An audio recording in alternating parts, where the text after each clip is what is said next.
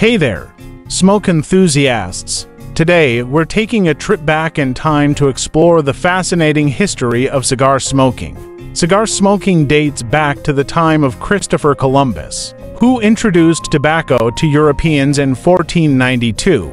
It wasn't until the mid-15th century that cigars as we know them today became popular. The process of making cigars was perfected by Spanish settlers, who used native leaves from Central America to create these rolled tobacco products. By the late 1800s, cigar smoking had become a symbol of wealth and status. Companies like Tampa's Cuban American Tobacco Company established factories and markets for their products all over the United States.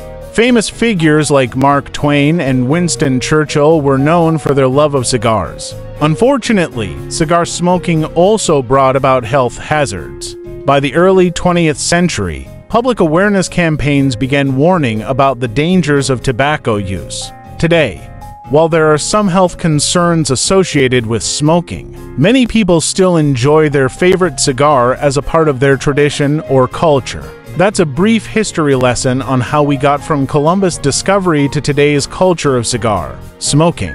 If you enjoyed this video and want more history lessons like this one, don't forget to hit that like button and subscribe for more content. Until next time, stay curious and keep exploring.